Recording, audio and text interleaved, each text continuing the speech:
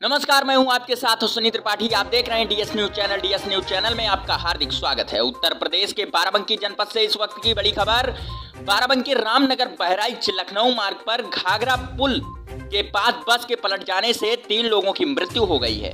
कई लोग घायल हुए हैं, सूचना पाकर मौके पर पहुँची पुलिस ने मृतकों की शिनाख्त का प्रयास कर रही है। घायलों को चिकित्सालय के लिए भेज दिया गया है। ये थी हमारे न्यूज़ चैनल के लिए दिनेश कुमार वर्मा की स्पेशल रिपोर्ट। मध्य प्रदेश के छतरपुर से बड़ी खबर। पिछड़ा वर्ग मोर्चा के जिला मीडिया प्रभारी परमानंद कुशवाहा, पूर्व पार्षद एवं संयोजक बसंत पाठक एवं अखिलेश पटोले के सहयोग से सभी बूथों एवं पन्ना समिति के द्वारा प्रचार प्रसार किया जा रहा है। आइए देखते हैं छतरपुर से सुरेंद्र कुमार बर्रार की special report.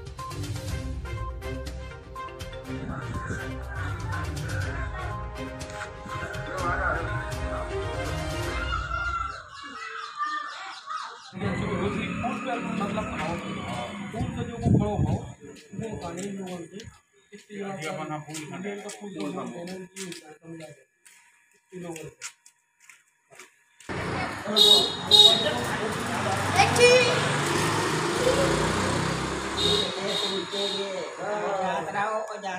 Bharatiya Janata party जिंदाबाद देखो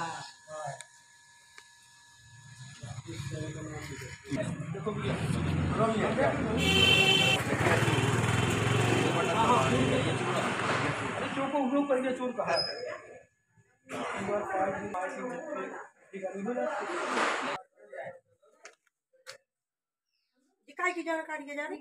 भारतीय जनता पार्टी की।